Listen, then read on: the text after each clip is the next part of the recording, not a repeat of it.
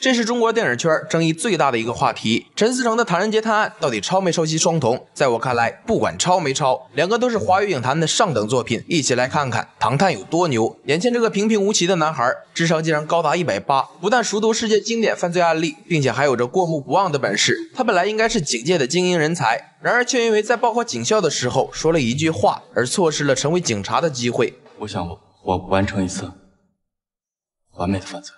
奶奶为了安抚孙子考试失利的心情，于是便安排他来到泰国散心。泰国有一个他的远房表舅唐仁，号称泰国第一神探。然而刚一见面，心思缜密的秦风就发现了不对劲。唐仁的身上烟味太重，并且眼睛充满血丝，右手指甲全是泥垢，裤子右腿比左腿脏。这些细节加在一起，只能产生一个行为：打麻将。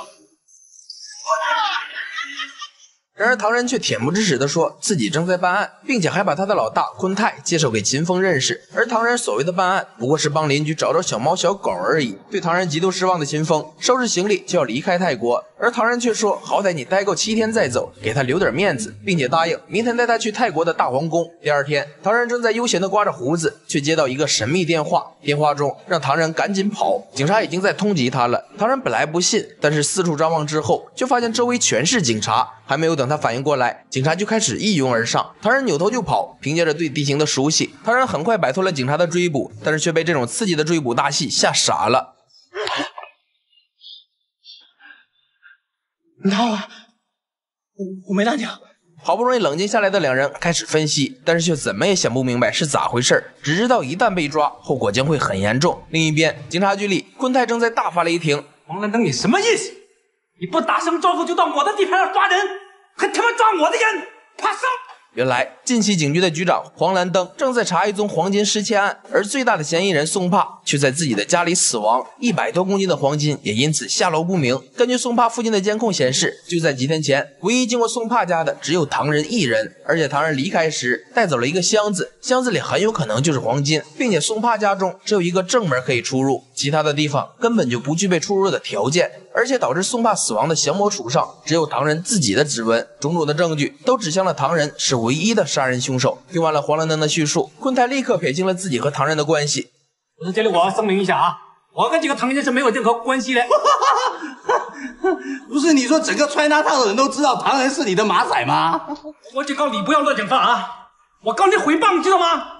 而另一边，唐人却遭受到了重大的危机，这绝对是小沈阳的演艺生涯中最出彩的表现。戴着一副黑边眼镜，不苟言笑，心狠手辣。不久前，他们五个人合伙盗窃了一百多公斤的金条，但是却不翼而飞。而最后见过金条的人，就是眼前的唐人。为了能够得到金条的消息，他们绑架了唐人和秦风。为了让他们说出金条的下落，使尽了浑身解数，但唐人却始终说不出金条在哪儿。确实，因为他根本就没有见过金条。因为在几天前，唐人正在参加中国博大精深的国粹活动打麻将，而此时他却接到了一个电话，电话里的人自称是宋帕，让他在晚上十二点时去工厂取货，然后送到海天大厦，而需要运送的货物则是一尊佛像。唐人赶到地下停车场之后，将货物送到了一辆面包车旁边之后就离开了。他取货的时候，宋帕还是活着的，剩下的事情他根本就不知道。几个人将唐人两人绑在了仓库里，只留下一个傻大个看守，剩下的人去停车场去寻找黄金。而趁着壮汉吃饭的时候，唐人偷偷打开了手铐，然后一招仙人摘桃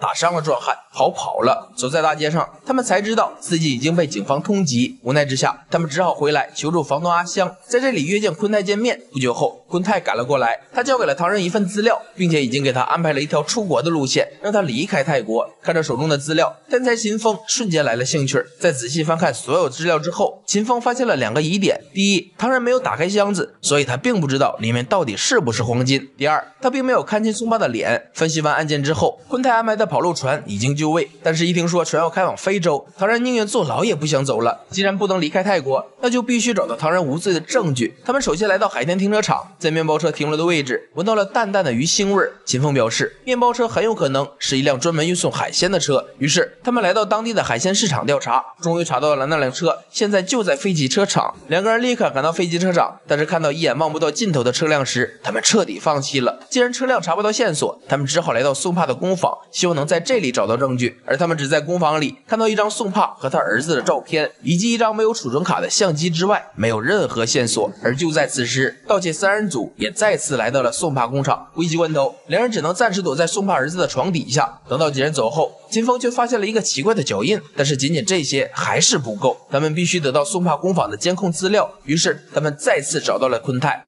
你们为什么不走嘞？我是要证明我自己是清白的呀！我我没有破案。你以为这是拍电影吗？来王姐归来吧！尽管有昆泰警长的暗中帮助，但是想要潜入警局拿到资料难度太大。于是他们安排唐人吸引警察的注意。秦风和昆泰潜入资料库寻找证据，凭借着过目不忘的本领以及强大的推理能力，秦风终于发现了一个极为重要的线索。一个杀人犯的气场能有多可怕？天才侦探秦风只是和他对视了一眼，就已经吓得浑身冒冷汗。而这一切还要从几个小时说起。秦风在警局的监控录像中得到一个极为重要的线索，那就是宋帕曾经多次出入一个咖啡厅。当秦风赶到咖啡厅的时候，他发现松爸经常坐的位置上正好可以监控对面大楼的一处窗户。随后，他们来到了大楼内，找到了对应的房间，敲开房门。开门的是一个小女孩，她叫斯诺。唐人拿出宋爸儿子的照片，让女孩确认。女孩说这是她的同学，不过不在一个班。随后，唐人又拿出宋爸的照片，斯诺表示不认识。无奈之下，他们只能离开。但是刚走出大楼，他们就被严先生的人绑了回去。丢失的黄金正是严先生的，他控制着泰国的黑白两道，并且给唐人三天的时间，让他找出黄金，否则便会消失在这个世界上。他们只能继续调查。经过秦风的推理之后，发现线索全部集中在了斯诺的身身上。于是秦风再次找到了斯诺，却在离开时意外见到了他的养父。凭借着惊人的记忆力，秦风发现养父其实是报废车站的工人。这一切绝非巧合。于是秦风和唐人再次来到宋帕工厂，模仿案发经过。经过模拟之后，秦风推测当时和唐人接触的人其实并不是宋帕，而是真正的凶手。宋帕在那个时候就已经死了，而窗户的倒影其实就是宋帕的尸体。真正的凶手已经藏在箱子里，被唐人带了出去。之所以监控没有拍到那个人，是是因为凶手其实在七天前就已经进入了工坊，而监视器的内容是七天自动覆盖，床底下留下的脚印就是凶手留的。但是还有最后一个疑问，那就是黄金到底在哪里？而就在此时，一个神秘人却突然闯了进来。一番搏斗之后，凶手落荒而逃，而金峰已经确定了凶手的真正身份。但是还有一块重要的拼图，那就是杀人动机。之后，他们再次来到斯诺家，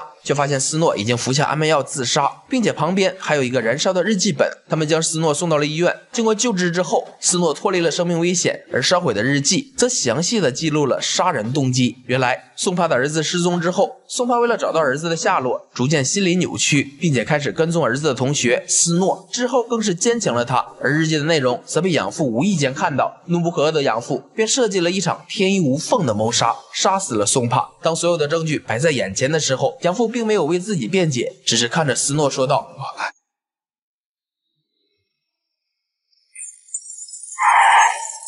这起谋杀也最终尘埃落定，现在只剩下最后一个问题，那就是黄金的下落。而这一切也逃不过秦风的眼睛。在医院时，唐人意外撞倒了医院的手推车，秦风立刻联想到黄金肯定没有运走，还藏在工坊中。在经过寻找之后，他们最终在佛像里找到了黄金。就在大家以为事情结束的时候，秦风却偶然看到了一个酒吧的招牌。唐人解释说，这是泰国最有名的男性那个啥的酒吧。而根据警方掌握的资料，宋帕经常出入这里，也就是说。宋帕其实是一个爱好男人的男人，所以他根本不会对一个小女孩做出侵害的行为。秦风来到医院，看着人畜无害的斯诺，说出了真相。原来宋帕的儿子失踪，真正的凶手就是斯诺。为了调查儿子的死因，宋帕便开始调查斯诺。斯诺担心暴露，于是便伪造了日记内容，并且故意让养父看到，想要凭借着养父的手除掉宋帕。根本就没有人想到，所有的一切都只是一个十几岁小女孩的计划。听完秦风的分析，斯诺。并没有说话，只是留下一个诡异的微笑。好，我是 AJ，如果你喜欢这个故事，记得点赞、关注双连，我们下期再见。